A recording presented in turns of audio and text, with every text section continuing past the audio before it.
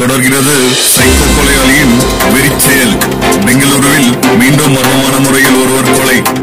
ஏற்கனவே இரண்டு கொலை வழக்கில் தேடப்பட்டு வந்த சைக்கோ கொலையாளி தான் இந்த கொலையும் செய்திருக்கலாம் என்று போலீஸ் சந்தேகிக்கிறது.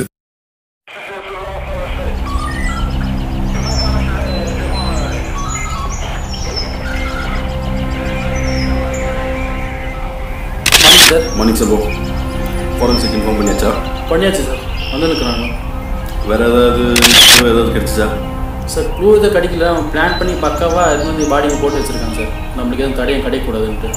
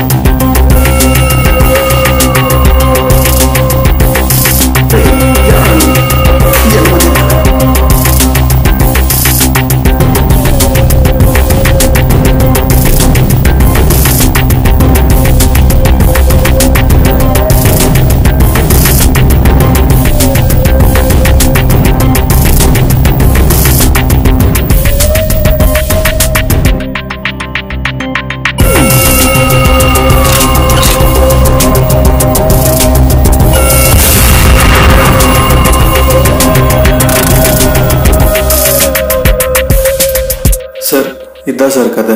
அந்த மூணு பேர் ஒரே மாதிரி இருக்கிறவங்க அதில் ஏன் ஒருத்தனை மட்டும் சாவடிக்கிறாங்கோ அப்படின்னுட்டு ஒரு சின்ன ஃப்ளாஷ்பேக் வச்சுட்டு கதை முடிக்கிறோம் சார்.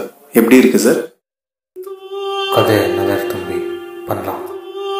ஆனால் அதுக்கு முன்னே நான் ஒரு சின்ன கதை சொல்கிறேன் ஒரு காட்டில் ஒரு சிங்கம் இருந்துச்சான் அந்த சிங்கத்தை கூட சில நரிங்கும் அந்த நரிங்க போய் சிங்கத்துக்கிட்ட சொல்லிச்சான் நீ இந்த காட்டில் இருந்தினா இந்த காட்டுக்கு மட்டுமே ராஜா. நான் சொல்கிறது கேட்டினா இந்த ஊருக்கே ராஜாவாக இருக்கலாம். ஆசைப்பட்ட சிங்கம் ஊருக்குள்ளே போய் ஜனங்க கிட்ட அடி வாங்கி காயப்பட்டுச்சான். காயப்பட்ட சிங்கம் ஊருக்குள்ளே இருக்க முடியாம காட்டுக்கோ போக முடியாம நடு தெருவில் நிலைச்சான் அதோட வாழ்க்கை ஒரு கேள்விக்குறியாக மாறிச்சு ஜஸ்ட் லைக் திஸ் இந்த ஆள் ஏன் சம்மந்தமே இல்லாமல் இந்த கதையை என்கிட்ட சொல்கிறான் ம்? சார் கரண்ட் தான் போச்சு. இது ஜென்ரேட்டர் ஆன் பண்ணிட்டு வரேன் பல நாட்களாய் தேடி வந்த சைக்கோ கொலையாளியின் போட்டோ இன்று காலை போலீசாரிடம் சிக்கியுள்ளது. அதில் அவர் ஒரு பிணத்தை புதைப்பது போல் காட்சி உள்ளது அந்த போட்டோவில் இருப்பது யார் கே சேதுராமன் அவரை போலீசார் வலைவீசி தேடி வருகிறார்கள்.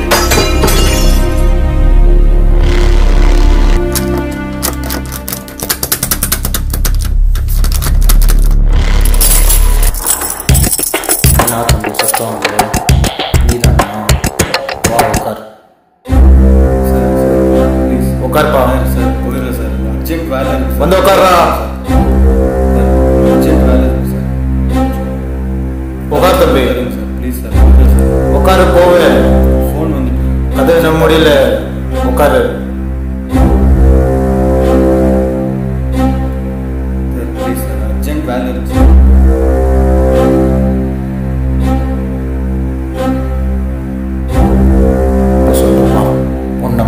है न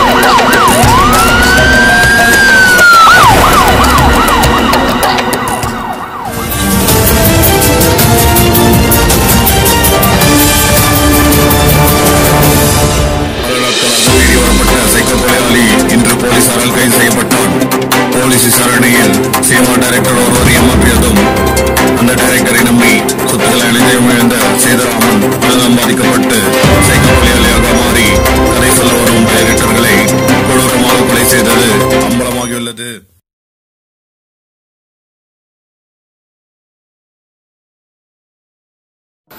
இது யார் மனசு புண்படுத்தணுக்காக எடுக்கல இந்த படத்தை.